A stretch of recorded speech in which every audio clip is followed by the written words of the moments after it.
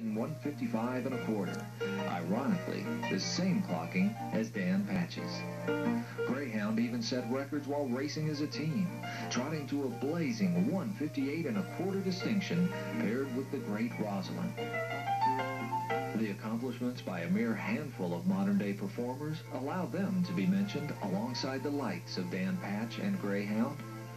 Pacing Triple Crown winner and three-time Horse of the Year Bret Hanover is among that select group.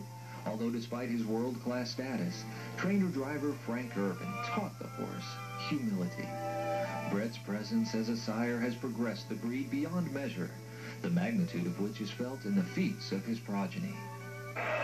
Niatross, the fastest harness horse of all time, earned that title in 1980 when he raced the clock at the Red Mile, stopping the timer in an unbelievable 149 and